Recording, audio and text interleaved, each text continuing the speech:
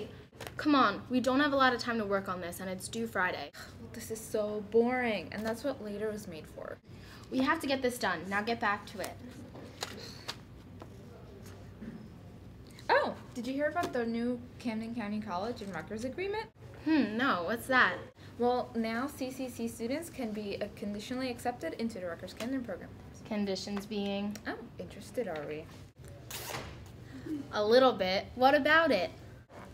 Well, if your major is one of the transfer degrees that CCC has, um, then you can keep a minimum GPA and you're in.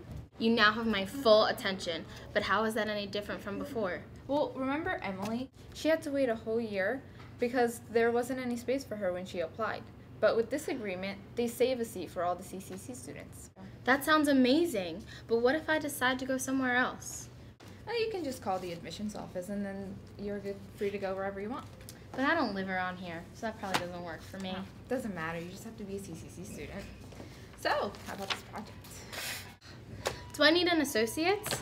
No, technically you only need 30 credits, and then you can talk to Rutgers advisor here, and then see if you meet the requirements. My brother is gonna be so jealous. He graduated last year. He can get on, in on it too. Six years ago is the cutoff. You said Rutgers Camden, right? Mhm. What about Newark and New Brunswick? Well, we have partnerships with them too, but this specific one is for the Rutgers Camden. So talk to the Rutgers advisor here on campus and get more information if you want. How do you know this and I don't? Well, I'm awesome.